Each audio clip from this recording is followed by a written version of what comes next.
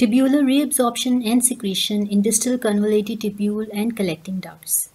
We have already discussed the reabsorption in the principal cells of distal convoluted tubule and collecting duct. In this particular video, we will focus on the intercalated cells of these segments of the nephron. How the intercalated cells are going to play part in the acid-base regulation of the body. So these segments of the nephron which have intercalated cells are located in the distal convoluted tubule, later segments and the cortical collecting tubule. Here we have the tubular lumen, the intercalated cells and the peritubular capillaries. This is the interstitium. The intercalated cells are further of two types, the alpha intercalated cells and the beta intercalated cells. The sodium-potassium ATPase pump are located on the basal side of the intercalated cells, but they are less important here. The main function of intercalated cells is to maintain acid-base balance inside the body.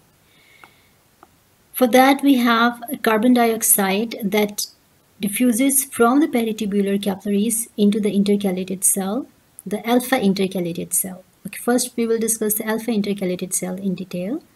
The carbon dioxide that diffuses inside the intercalated cell, it combines with the water present here and by the combination of these two carbonic acid is formed.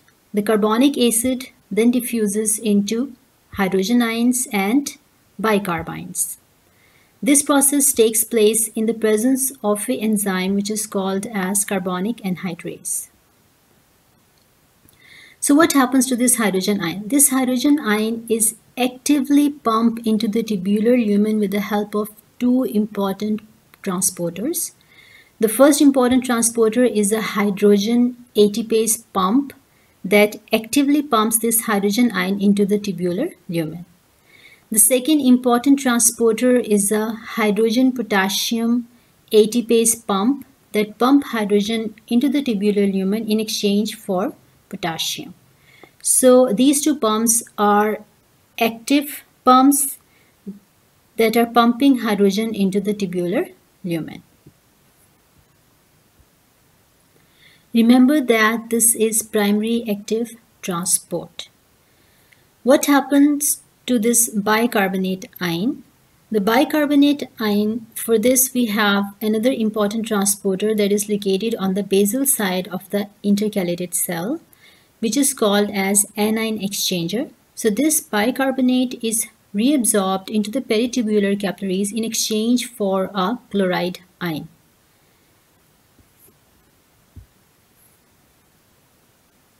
It is important to remember that this is new bicarbonate that is being formed this is not the bicarbonate that we get from the tubular lumen. This is actually new bicarbonate that is formed through this reaction and with this secretion of each hydrogen ion into the tubular lumen, one new bicarbonate is reabsorbed into the peritubular capillaries. This is important in maintaining acid-base balance inside the body.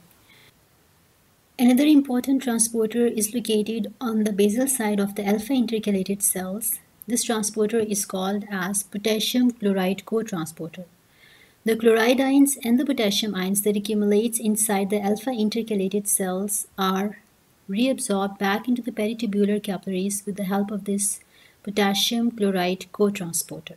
So in this way, chloride and potassium are reabsorbed into the peritubular capillaries. Now, what happens with this hydrogen ion? The hydrogen ions that is secreted into the tubular lumen leads to decrease in pH of the urine. So the pH of the urine can decrease to up to 4.5. These hydrogen ions are very important in acidification of the urine.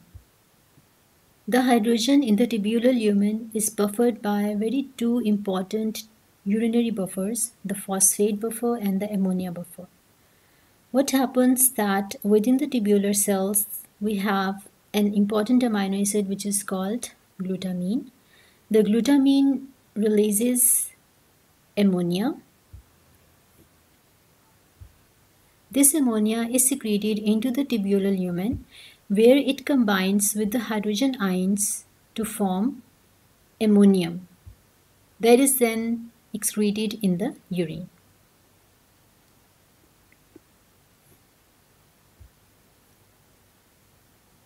The second important urinary buffer is the phosphate buffer.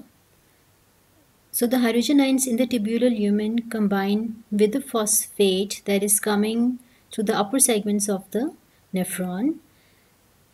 This hydrogen when combines with phosphate, it leads to the formation of H2PO4. Both this H2PO4 and the ammonium ions are excreted via the urine. This is how excessive hydrogen ions or acidity is eliminated from the body. Now let's discuss the beta intercalated cells. The beta intercalated cells have a very important protein transporter located on the apical membrane which is called as pendrin. This is an anion exchanger that leads to the secretion of bicarbonate ions inside the tubular lumen in exchange for a chloride ion. So one bicarbonate ion is released into the tubular lumen and one chloride ion is reabsorbed.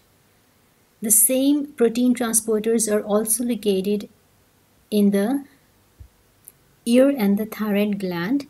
Mutations in this pendrin protein can lead to development of a syndrome which is called as Pendred syndrome.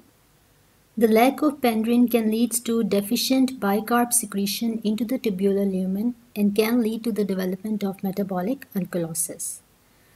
On the basal side of the beta intercalated cell, we have another important transporter which is a hydrogen ATPase pump that leads to reabsorption of hydrogen from the beta intercalated cells.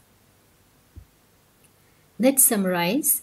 The alpha intercalated cells are important for the secretion of hydrogen ions, the acidification of the urine, and the reabsorption of new bicarbonate, while the beta intercalated cells are important for the secretion of bicarb and the reabsorption of hydrogen ions.